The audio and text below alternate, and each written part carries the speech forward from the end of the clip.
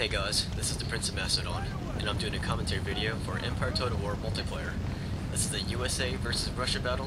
I'm in command of the USA here, and my opponent is General Lee in command of the Russians. Let's go look at my army of the USA. Here I've got two units of light dragoons, and they're followed up by six units of these uh, long riflemen. Those are my elite skirmishers, and since this is a late period battle, we both have access to elite skirmishers. Alright, let's go look at my main infantry body. It consists of six units of Minutemen. Then I have one unit of guards. There they are. Orders understood. And I've got several units of these grenadiers. Alright, I've taken my light dragoons and I've ran over to this side right here.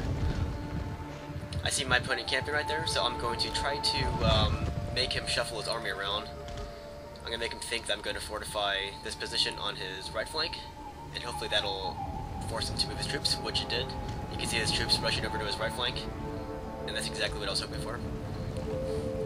So he, anyways, he has 7 units of Cossack infantry, then he has 7 units of riflemen, and, which are his elite skirmishers, then he has 3 squadrons of general's bodyguards. So he has more um, elite skirmishers, but um, I have the element of surprise because my guys are creeping up on him, my long riflemen. And plus I forced him to uh, shuffle his army around. Alright, so these are my light dragoons here. I'm going to dismount them. I'm going to let these guys fight on foot. Or that was my intention anyways. But anyways, that's them dismounting. And I'm just going to leave these guys right here. And this is more of a distraction force. I mean, it could be decisive, depends what my opponent does. He sees my cavalry and he forms into a square. So he's expecting me to uh, remount and charge into his right flank. Anyways, I'm bringing up my long riflemen, and they're just uh, creeping up there. When they're creeping like this, that means my opponent can't see them. Typically I don't do this, but since you guys have never seen this, I decided to show you what it looks like. That's them creeping up. And once again, they cannot be seen when they're doing that. That's one of the uh, huge advantages of American long riflemen. See them creeping? Alright, and um, here I'm using Minutemen here.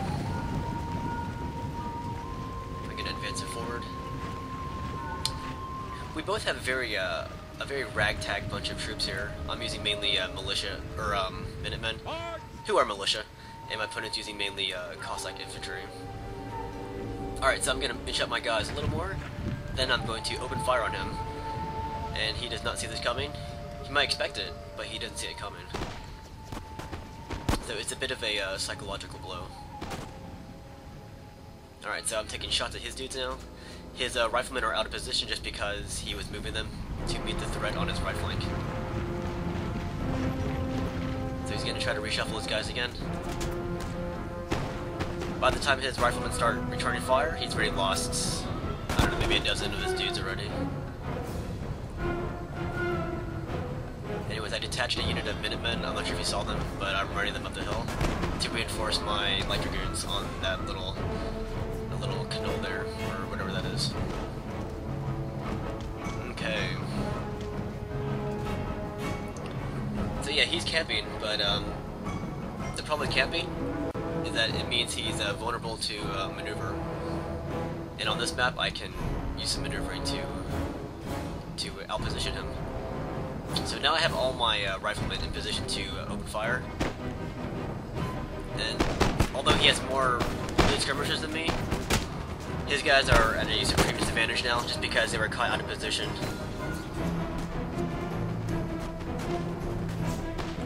Okay, so that unit of riflemen is pretty much gone. I formed up some Minutemen in front of my light dragoons here. And I remounted my uh, light dragoons. Because I see his uh, cavalry coming in for an attack. So I want to countercharge them. So here comes his cavalry. These our general's bodyguards. And my Minutemen can actually get off a volley of very murderous fire against them. So I, I took down a few horses there. Probably quite a lot, actually. And I have my light dragoons in the back, ready to countercharge. There they are, they got their sabers drawn out. I'm gonna go in for the kill.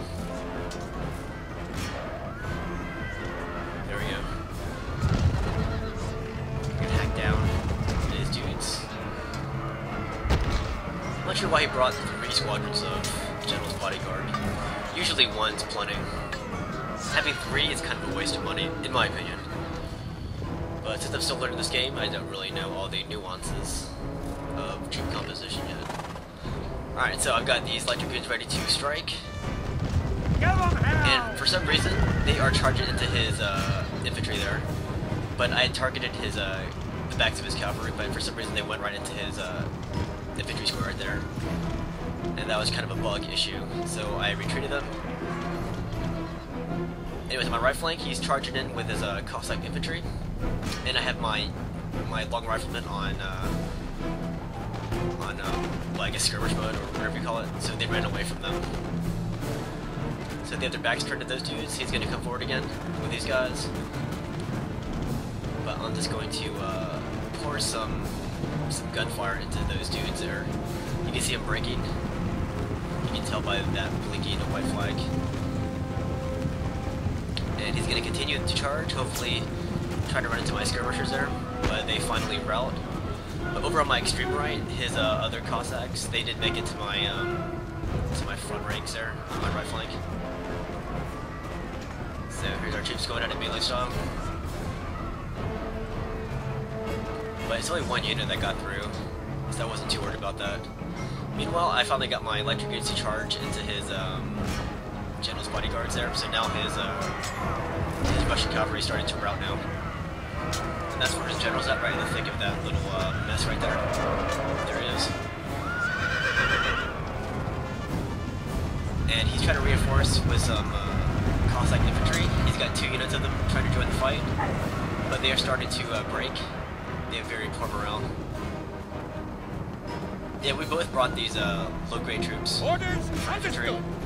Although I have this one unit of guards here, and these guys are very elite. The reason we brought so many uh, low-grade troops is because this is a mediums fun game. Had this been high, we probably would have been using more, uh, more uh, line infantry. Anyways, on my right flank, I'm going to reinforce my my front right ranks there with some uh, long riflemen, going to charge in with my sabers. So I have destroyed his uh, right flank there with my left flank. Now I'm going to uh, continue the pressure, and I'm going to take one unit of light dragoons, and I'm going to chase down his uh, units that are routing. Because a lot of the units that are routing, they're actually still pretty healthy. So I want to slaughter them, make sure they don't come back. So here's the pursuit here. And that was one very good use of cavalry in the uh, in this time period was to uh, chase down uh, routing units here, making sure they didn't reform. And so that's me taking out his uh, his retreating Cossack infantry dudes. Now I'm taking the rest of my guys. I'm going to uh, crash in on his right flank. Gonna try to roll it up. And I'm putting some flanking fire on his dudes there. And now you can see them routing. Those are my Minutemen and my guards there. Immediate. And I took my uh, other units of light dragoons, and I'm gonna get behind his troops over here and dismount. Here we go. These are my guys dismounting. I want to get some fire on these dudes. You can see them. He's trying to retreat to a um, a position a position further back, but I'm trying to uh, to corral his troops so that I can uh, encircle them. But he runs away from that encirclement. So I had to remount my horses there. You can see his general died there. But um, I'm gonna get back my horses. I'm gonna continue the pursuit of his troops. So here's my American force. Now his troops are breaking now. They were running in an orderly fashion, now they're breaking completely. It's kind of ironic though. My opponent's name was General Lee, and he was in command of the Russians, and my name was Bagration in command of the uh, Americans. So uh, we really had reverse names in this situation. Anyways, that was a victory for me. I killed 993 of his troops, and I lost 398 of my guys. General Lee, he killed 328 of my troops, and he lost 1,136 troops. Good game to uh, General Lee. Hope you guys enjoyed.